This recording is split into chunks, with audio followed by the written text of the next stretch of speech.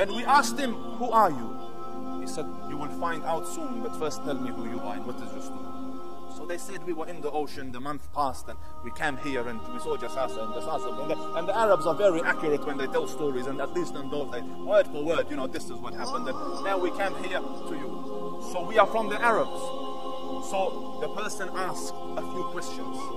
Tell me about the orchards of Bisan. Are they? So they said, What do you want to know? Because he knows they're from the Arab lands. And Bisan is in Syria.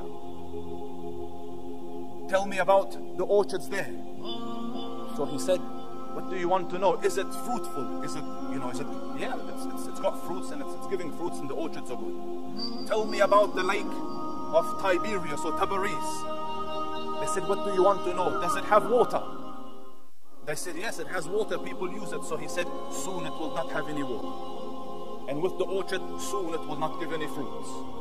And he asked about a couple of other places, and they said, Yes, it is good. And the man said, Soon it will not be the case. So then he asks, Tell me about the unlettered prophet, and Nabiyul Ummi. Tell me about Muhammad. Has he come? And what is his situation? Yes, he has come. And how are the Arabs behaving with him? They resisted and fought him, and then they turned towards him in acceptance, and now they have accepted him. So he said, This is better for them to accept him and obey him.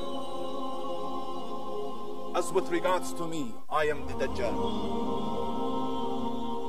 Soon I will be given permission to come out of here. I will be released.